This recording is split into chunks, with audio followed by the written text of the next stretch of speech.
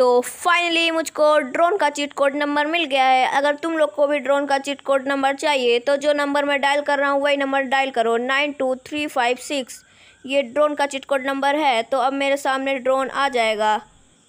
तो यहाँ पे ड्रोन आ चुका है।